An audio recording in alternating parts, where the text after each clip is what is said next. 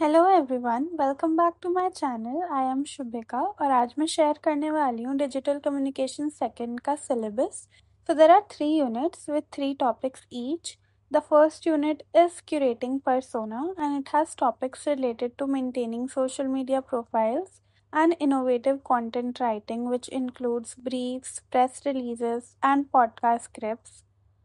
The second unit is making institutional profiles and networks, which again has topics related to writing in, about institutions and building networks, updating blogs and vlogs.